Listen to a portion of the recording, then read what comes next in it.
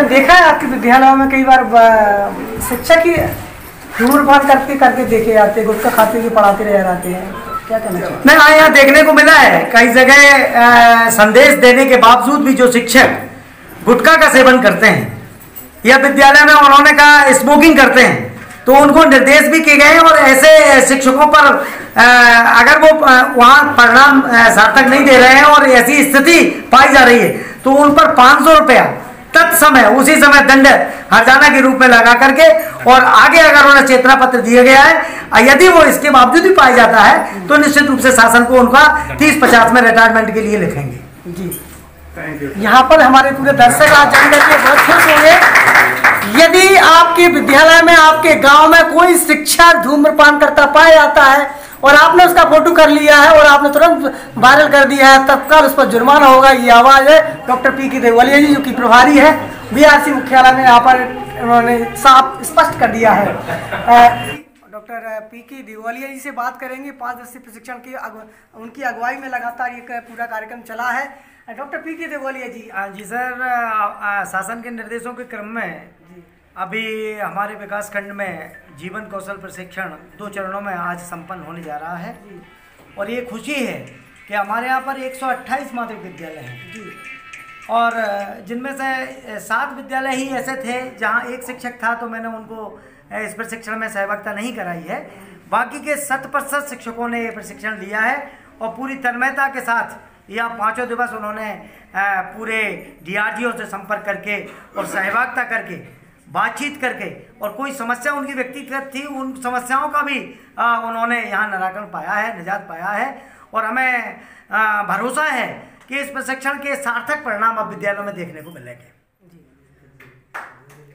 हमारे दर्शक हमारे दर्शक ये जानना चाहते हैं कि पाँच दस प्रशिक्षण लेने के बाद क्या कुछ नया करने वाले हैं आप विद्यालय में? किस प्रकार का मोटिवेशन देंगे आप? मोटिवेशन तो यह है कि जीवन कौशल शिक्षा है भाई समस्या है आज के परिवेश में बहुत ज़्यादा समस्याएँ बालकों को लेकर के आ रही है।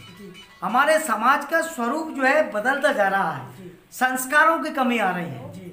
बच्चों के अंदर जो संस्कार होना चाहिए जो पिता का सम्मान माता का सम्मान गुरु का सम्मान समाज में जो प्रेम था वो प्रेम कमतर होता नज़र आ रहा है।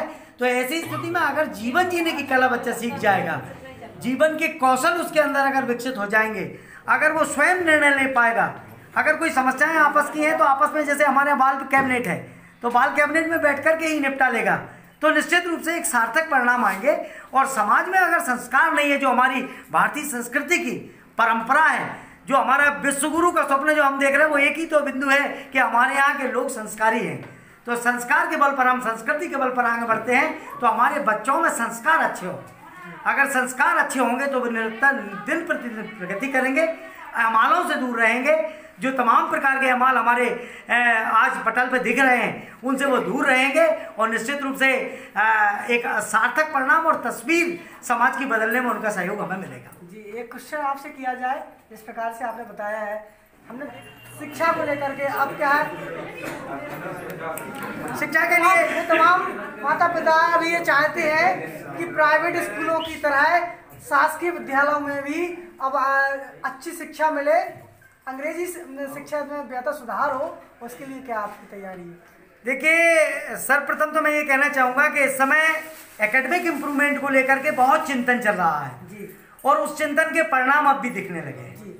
मेरा कहने का मतलब ये है कि हमारे यहाँ आरटी प्रावधानों के तहत जो हमारा एक से लेकर के आठवीं तक का बच्चा था और उसको फेल करने का प्रावधान नहीं था। तो उससे वो दंड का भी प्रावधान नहीं किसी बच्चे को क्योंकि स्वतंत्र वातावरण में पढ़ाने का नियम है। हमारे यहाँ गुलकुर की परंपराएँ थी तो शिक्षक दंडित भी कर देता था लेकिन अब आरटी प्रावधानों के तहत हम किसी बच्चे को हमारा शिक्षक दंडित भी नहीं कर पाता है। अगर करता है तो सीएम हेल्पलाइन वगैरह लग जाती है पालकों की तरफ़ से। तो ऐसी स्थिति में आज अगर ऐसी परिस्थिति में भी अगर बच्चे को सही सार्थक रूप देना है और परिणाम अच्छे प्राप्त करना है तो एक नया रास्ता भी ढूंढा गया है। वो रास्ता इन प्रशिक्षणों के माध्यम से उन बच्चों को संस्कार अच्छा बनवान कर देते हैं।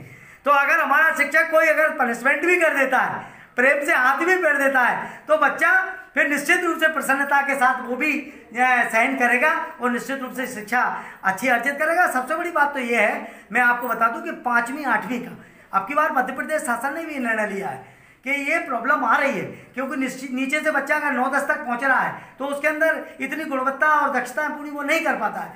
तो इसलिए उन्होंने यह तय कर लिया है, शासन ने अपने स्तर पर यह तय किया है कि आप पाँचवीं और आठवीं की बोर्ड पैटर्न पर परीक्षाएँ होंगी।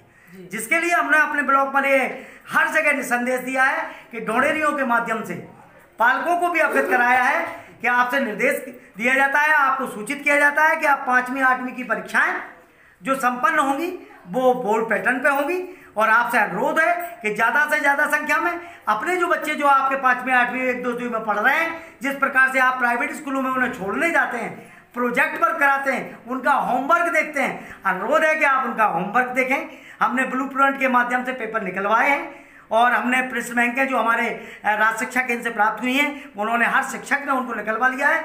उनके हिसाब से आप तैयारी में हमारा सहयोग करें, बच्चों को विद्यालय भेजें। यदि एक एक बार परीक्षा उनकी होती है और वो फेल हो जाते हैं तो उनको एक मौका और दिया जाएगा। अतिरिक्त कक्षाएँ लगाई जाएँगी और उसके बाद उनकी पुनः परीक्षा हम लेंगे। यदि वो फिर भी वो पास नहीं होता है तो ऐसी स्थिति में बच्चे को अनुत्तीर्ण भी किया जा सकेगा। ये शासन ने निर्णय लिया है और इससे हमें लग रहा है कि हमारे शिक्षक तो लगे ही हैं, जिससे कि इम्प्रूवमेंट आए। लगातार पालकों से संपर्क भी कर रहे हैं। लेकिन इससे हमें ढूंढ रही थी जो जो हमारी मुनादी फुट रही है, उससे भी ये सार्थक हो रहा है। अच्छे परिणाम भी आ रहे हैं। पालकों में भी अवेयरनेस आई है कि निश्चित रूप से वो अब बच्चों को विद्यालय में भेजेंगे और घर पर देखेंगे। और मुझे लग रहा है राजा भैया जी, कि अब कम से कम लाहौर में तो तस्वीर विद्यालय की तस्वीर दल में देने लगेगी। जी तो